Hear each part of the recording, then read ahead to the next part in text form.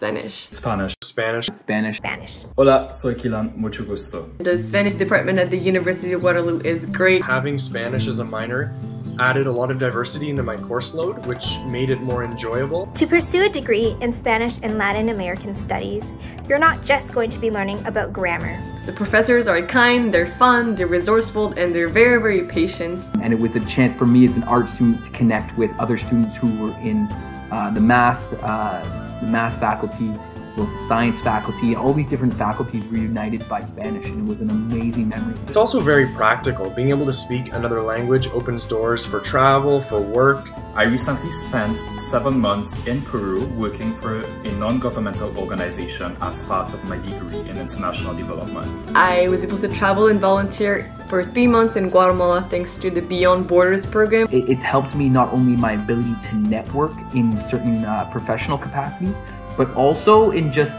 taking an opportunity to see how another part of the world might view a similar problem. Spanish was very valuable to me because I was able to fully communicate with my coworkers and also with the people from the communities we worked with. The ability to speak more than one languages, especially Spanish, in this hemisphere is of crucial importance and is something that employers look for. If you have the chance and the power to learn another language, do it because it's gonna open you many, many doors.